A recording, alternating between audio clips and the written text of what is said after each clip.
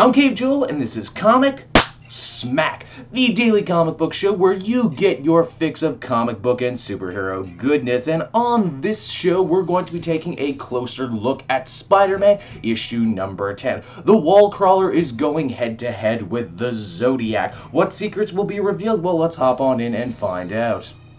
Alrighty then everybody, so picking up from where the last issue left off, Spider-Man is currently on the ground and at the mercy of Scorpio after falling to Earth from space, for reasons that still haven't exactly been adequately explained. Our hero is broken, battered, bruised, and completely out of web fluid, which means the baddie pretty much mops the floor with him like it was going out of style. But before Scorpio can land the killing blow, two things happen. For one, the people of France rise up around Spider-Man to protect him, showing that he is a hero all over the world, not just in New York and not just in America. The other thing is that despite his protest, Scorpio gets called away by the two Geminis who are in the middle of making an escape at the moment. Elsewhere, we check up on that very mysterious villain in red who is going to be the focal point of the upcoming Dead No More event. He's already recruited two old Sinister Six members in the Lizard and the Rhino, and now he's gone out of his way to break Electro out of jail even though Max Dillon no longer has superpowers. Anne Marie and the Living Brain swing by Paris and pick up the battered Spider-Man, offering him a new costume and a ride to his next destination.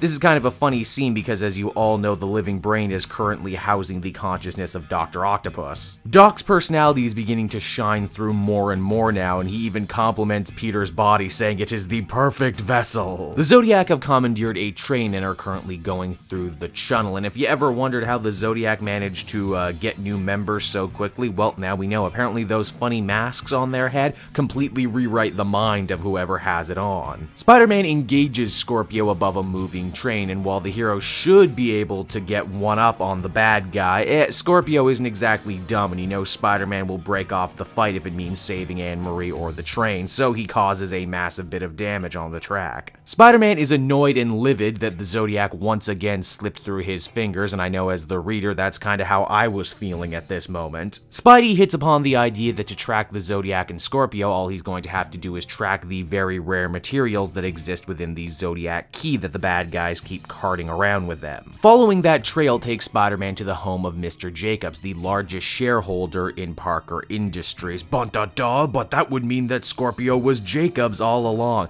Yes, Peter, that's exactly what it means. Good job figuring out what we as the reader knew multiple issues ago. After finding Jacobs' secret villain chamber, Pete has a conference call with all the other heads of Parker Industries to try and discern what exactly it is the Zodiac is up to. Not that he has to think for very long because Scorpio shows up and just decides to share his villainous plan with him anyway. It seems that that the only reason the Zodiac has been able to stay one step ahead of Spider-Man and the other good guys for so long is because, well, they've been cheating. They are quite literally able to see one full day in the future. Oh, but it gets so much better. Jacobs further goes on to say the only reason Spider-Man's employer, Peter Parker's company, has been doing so well as of recently is because Jacobs has been cheating the stock market by looking ahead. Basically, think Biff Tannen, only, you know, of the business world instead of the sports world. When Scorpio threatens to bring down Parker Industries around the ears of the good guy, Spider-Man more or less says, bring it dude, you can destroy my company, you can destroy my assets, but you know what? Take away all those great things and I'll still be left with what makes me Spider-Man, my great responsibility. The Amazing Spider-Man number 10 was a lot better than the previous issue, it had a lot more focus going on and the events had a lot more weight.